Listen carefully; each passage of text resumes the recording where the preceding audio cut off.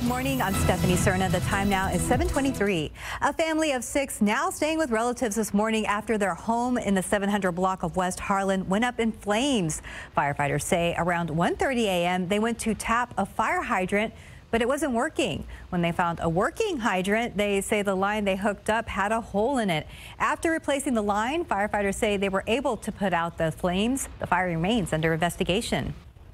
San Antonio police are also looking for a man who could be involved in a shooting. It happened around 1230 this morning in the 4500 block of Schertz Road. That's near Wurzbach Parkway and Thousand Oaks. Police say a teenager was taken to University Hospital with a gunshot wound to the knee. Social media has been a big point of controversy recently, and Facebook is once again a major player. Tomorrow on GMSA, we will take a look at the company's oversight board and how it influences major decisions that the social media company makes.